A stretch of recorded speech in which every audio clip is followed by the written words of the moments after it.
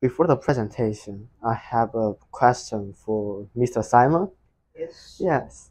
What would happen if everyone, everyone had empathy? What you think about it? What would what would happen? If everyone would have Empathy, yes. Well, I think the world would be, would become a better place to live in. Mm, yes, that's one of the answer. What could occur, including helping those in need and providing food for the poor. The idea of people helping each other is amazing. Most people could have a better life than before. So, what about kindness? Okay, the chapter one is definition of kindness. Kindness is defined as the quality of being friendly towards others. We are usually kind to our friends, family, also even strangers. But imagine if everyone were kind. One of the first thing that would happen is helping the people helping each other. Typically, we help friends, help family, or those who are weaker.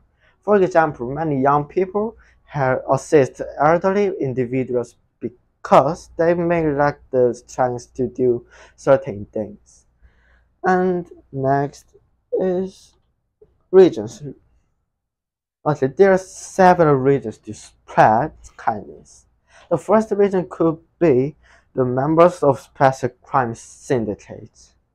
There are some bad people in our society who are unkind, such as members of special crime syndicates. They commit many crimes in society, and most of the members in crime syndicates are not afraid of the penalties they might face. These are the and help each other. Became a. It became a significant problem. Nowadays, people are too selfish, just care about themselves. But if we if we spread kindness, including conversation, including the conversation, people will have more interest in about in their neighbors and help each other by giving food or share some things. Next, next thing I want to say is the kindness could be returned.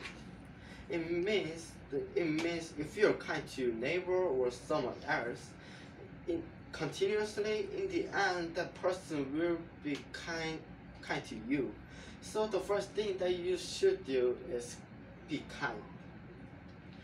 No matter be kind to neighbors, to friends, or some, or even animals. The kind kindness will return.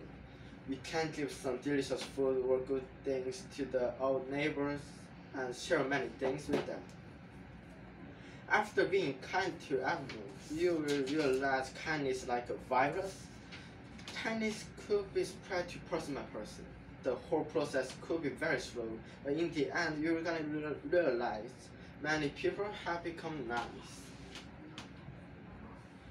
Okay, in the end, I want to say, like what Robin Hood, the writer of The first Tale, the United States, says very small unselfish action nudge the world into better path. An accumulation of small